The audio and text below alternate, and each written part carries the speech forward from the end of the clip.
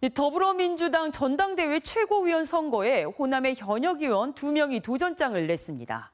여기에 호남 출신의 수도권 단체장 등 최소 12명의 후보가 나서면서 치열한 경쟁이 예상되는데요. 이 지역 표심이 분산되면서 호남 인사의 본선 진출도 장담할 수 없는 상황입니다. 박지성 기자가 보도합니다. 다음 달 더불어민주당 전당대회는 사실상 최고위원 선거라고 해도 과언이 아닙니다.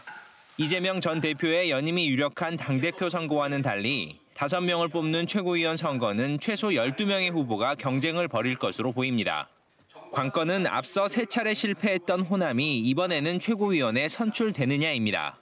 광주의 재선 민형배 의원과 전북의 초선 이성윤 의원이 각각 도전장을 내면서 호남 단일 후보는 어려워졌습니다.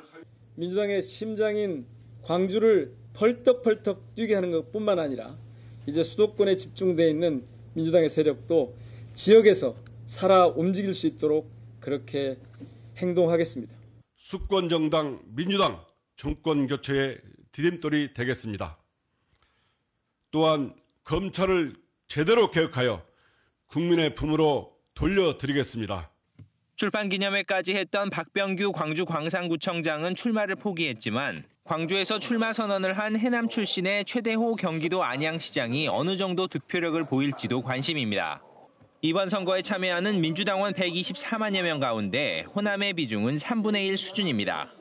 민주당은 오는 14일 중앙위원과 권리당원 투표를 통해 최고위원 후보를 8명으로 압축합니다.